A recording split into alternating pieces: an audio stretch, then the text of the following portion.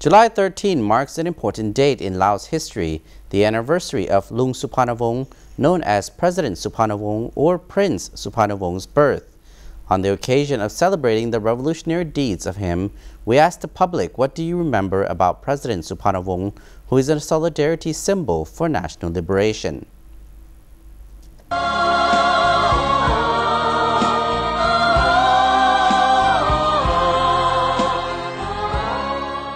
July 13, 2014 marks an important date in Laos history, the anniversary of Loung Souphanouvong, known as President Souphanouvong or Prince Souphanouvong's birth. The life history of President Souphanouvong is widely recalled in many places, aiming to give officials, the army, police, and all Lao people the opportunity to learn about the leadership, healthy lifestyle, and patriotism he personified. All of these had practical benefits and were followed up by action rather than being limited to words. By putting national and public benefit before his personal gain, he was able to command the respect of all.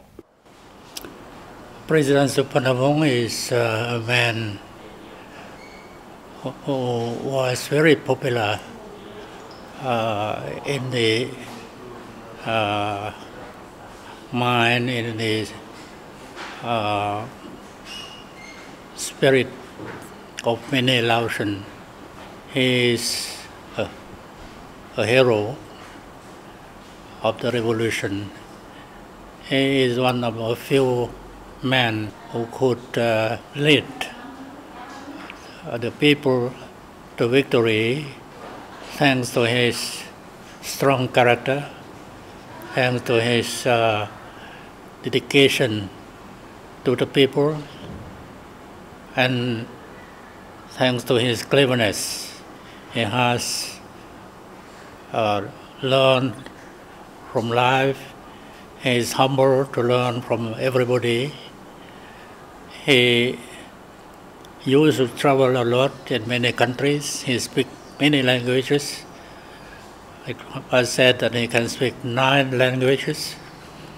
This shows his dedication to his own education uh, before you can lead other people, you have to be also very clever, very uh, strong yourself, and I feel that uh, that's why he never ceased to learn, even when he, was, he was very old already, when he, he was uh, nearly in uh, retired. He is still learning. He read a lot.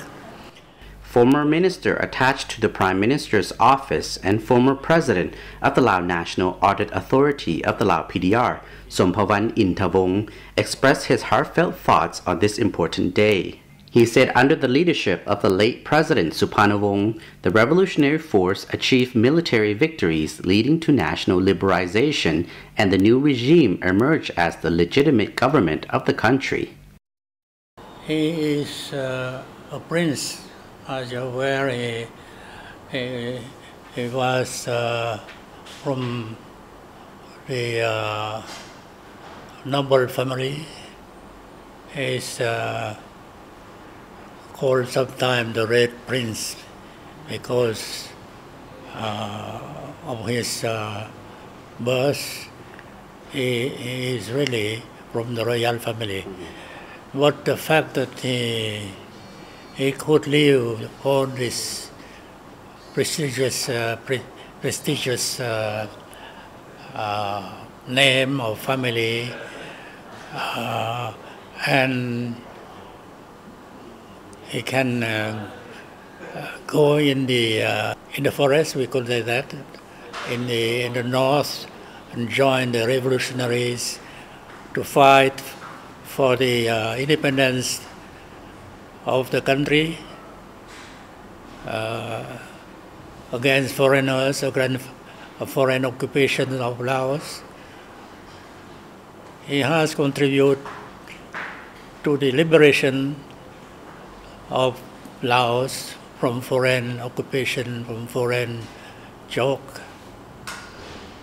Uh, this uh, show how his he has a, a spirit of sacrifice, uh, sacrifice his own uh, happiness for his country, for the people of Laos.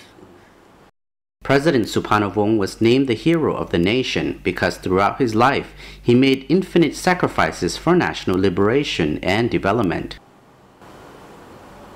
Development of our country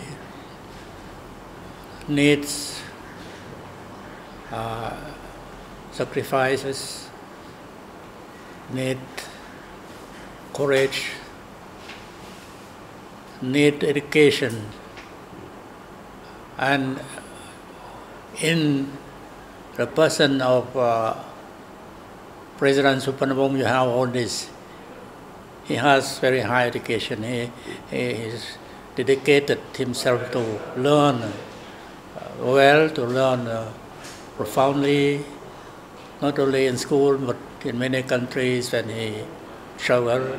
He will learn in order to be able to be useful for his country. This is uh, first lesson we could uh, learn from, from him. Not only learn, but also we, we should also make sacrifice. And we, we should not, young generation, as you said, uh, should learn from him. They should learn to sacrifice anything. Sometimes their own happiness in order to to be useful in the, the, the country. Uh, this is also something that uh, they can learn from, from uh, President Souphanouvong.